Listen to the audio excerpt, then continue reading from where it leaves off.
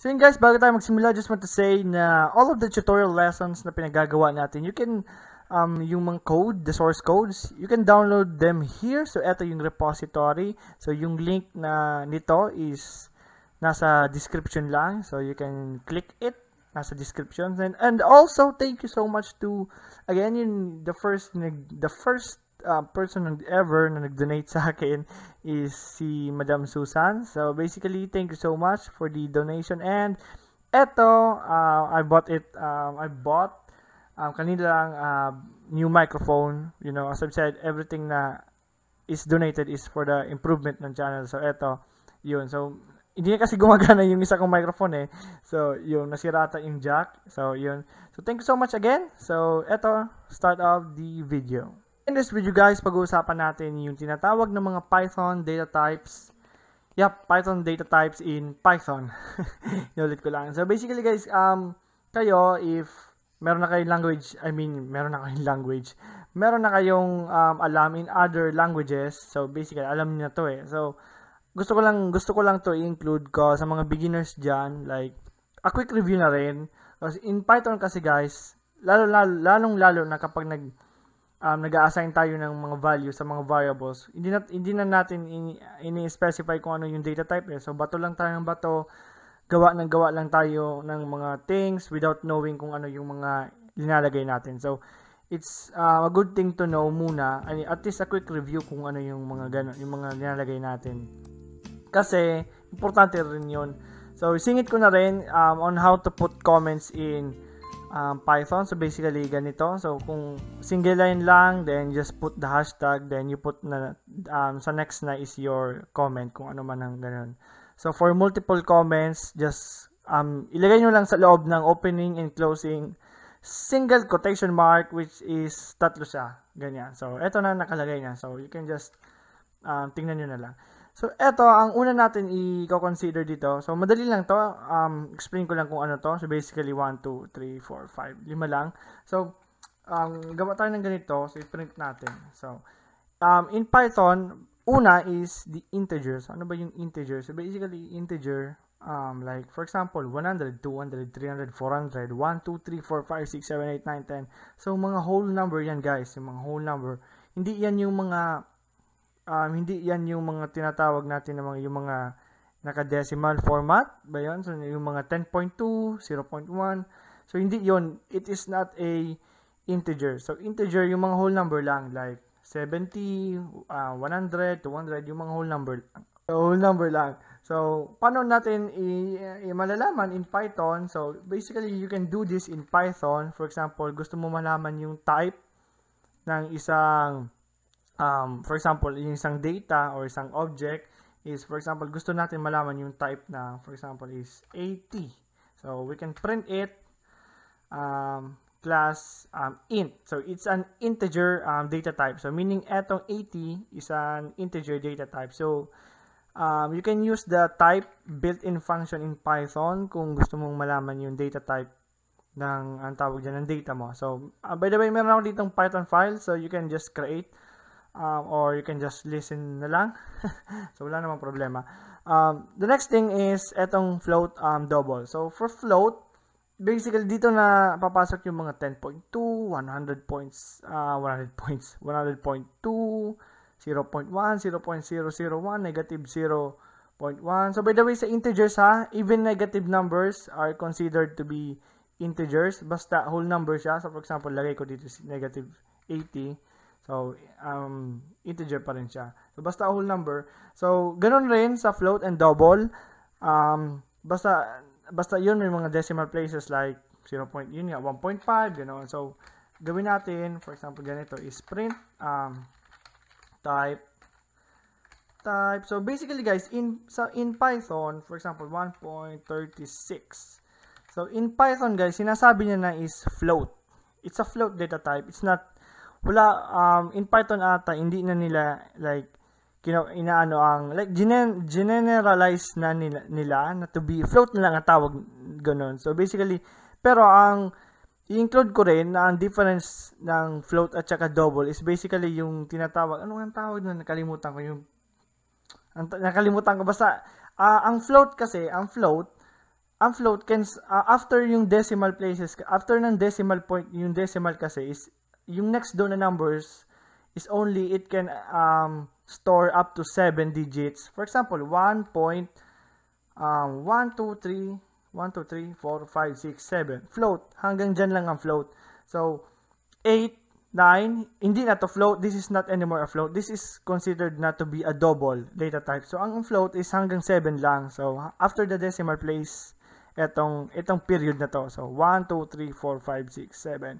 Hanggang 7 lang. So, ang double, I think, is hanggang 15. Yep, 15. So, 7, 8, 9, 0, 1, 2, 3, 4. So, 1, ilan ba to? 1, 2, 1, 2, 3, 4, 5, 6, 7, 8, 9, 10, 11, 12, 13, 14, 15, another number. So hanggang it can store up to 15 um, digits after the ano. So ganun lang naman um uh, ganun lang naman yung ano ng ang float saka double L. Pero in Python nga as I've said, inano na nila eh like in ang tawag diyan na just yung float na lang. So what if ilagay ko to dito? Ipiprint ba niya? So yes. Because as I've said, um, inano niya ng Python eh Ayan. So, ganon. So, nakita nyo, di ba? Um, this, is, this is supposed to be um, double kasi ano, pero inano niya ng float kasi as I've said, ang um, Python like, inano na nila na, ano na lang na float, yon So, kumbaga tawagin na lang na isang thing or isang data type, ganon. The next thing is the boolean data type, data type. So, For boolean guys, dalawa lang, it's either um, true or false. So that's it. So wala walang wala no more explanation. So basically it's either true or false, yes or no, oo o hindi. So type uh, for example, so for you um, for you to write um, true or false in Python, so just type yeah, true. So for false um, false. So basically let's also uh, ano yung type niya. Yep the type. So, the, it's a bool. So, stands for boolean. So, ganun lang naman ang ano yung boolean. So, last but not the least is the um, string and character. So, ang string guys is basically ang string. So, anything that you put here um, sa opening and closing tao dito double quotation marks is considered to be a string. So, ilagay anything, you can put anything in here. So, ilagay niyo yung pangalan ng pangalan nyo, pangalan ng pusa nyo, aso nyo, jowa nyo, kung meron kayo. Ganon. So, pang anything guys, anything like hello, your name, anything. So, eh, basta always remember na anything na ilagay nyo dito is considered to be a string. Ganon. So, um, pero gusto ko rin tong i-add up tong character. So, in other languages kasi guys, um, gusto ko na rin i, like i-compare to to other languages para ma, ma like ma, you know fa, familiarize kayo like yung difference ng language na to to other languages. So in in other languages kasi you do this like something like this ang um, character um for example C is equal to something like that. So eto kasing first I mean etong single quotation mark is for characters, right? So, ang character is basically a single, like ganito, a sing, isa lang, isa lang. So, a string is multiple, di ba? Anything like ganyan.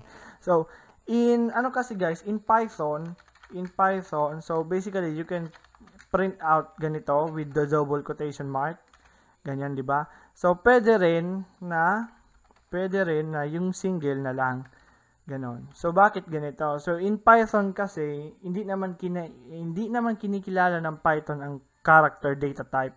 So, kung makikita nyo, wala tayong, walang ganitong in Python na, example, ganito na print natin is class int. Wala, wala dito na class uh, like character. Walang kinikilala ang Python na character. So, eto, ninagay ko is, uh, ang character, walang character dito, pero all characters are just strings. Strings na sila. Ang type na nila is strings. Ganito. So, for example, ganito. Um, para makita nyo. So, for example, ganyan ito sinasabi ko. For example, ganyan. So, print ko. So, yan. So, wala nang character dito, guys. Walang character like sinasabi dito is character. So, all characters are strings with length 1. So, ganito. So, this is a string na. This is a string. Pero, alam natin, di ba, in our sa sarili natin na, yeah, oh, alam ko, this is a character. Pero, Python, kinikilala ng Python, ito, sinasabi ng Python, oh, this is a string. Alam ko string to. Yan. Pero, of length 1. So, basically, ano ba yung length?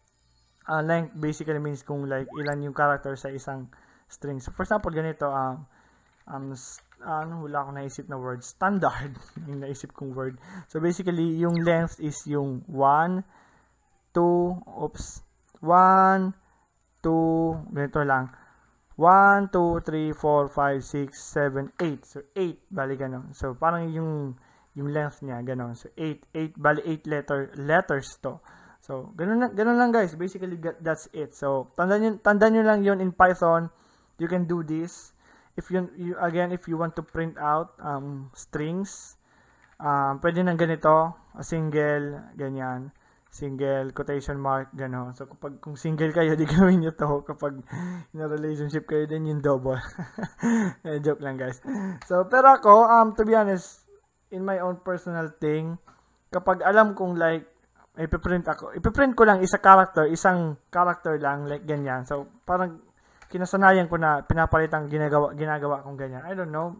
Depende rin. It's up to you guys. Wala namang problema kung magpiprint kayo ng string, tapos single quotation mark lang. Walang problema, it still works. Walang walang problema 'yan in Python, ganon.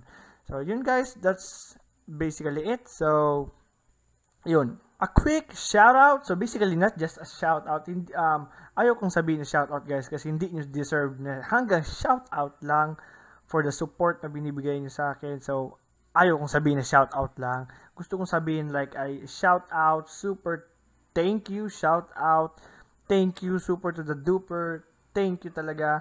Yun, so pumili ako ng our first top 10. So, thank you so much. I'm Russell um, Nabio. So, sorry if medyo di ko ma, like, ma-pronounce ng tama yung pangalan niyo. So, uh, sorry, uh, I'll do my best talaga. So, Sandro um, Gra- Gracilia. So, thank you so much, bro. Russell, thank you. And Jome Jom Jometerion Rabanillo. So thank you so much bro and Darwin um Darwin wait lang Darwin Bu uh, is it I or L Bulsa or Buiza uh, Thank you so much bro. Thank you so much sa iyo sa Hendrix Rodriguez, Naim Na, Naim Mangkol Jr. and also Crystal Thank you so much um Naim and Crystal Rel, Relay Relieve Sorry talaga guys. Pero you know, nakikita nyo naman yung names nyo. So, superb, sad. So, thank you so much bro. Um, Mabel Ryans and also Jerome Mayan. Yon. So, thank you so much guys. Um, thank you for all the support. So, gagawin ko to like for every video, every top 10 or maybe depende it could be top 10 or 20 depende I'll ano pero ito which is the top 10. So, thank you guys again. Thank you so much. And thank you for the support. So, salamat sa mga new subscribers. Thank you for the support. And guys, um, forever, um, like, you know, forever thankful ako. Um, God bless sa inyo. You know, God bless, God bless. So, thank you so much guys. Yun, see you in the next tutorial.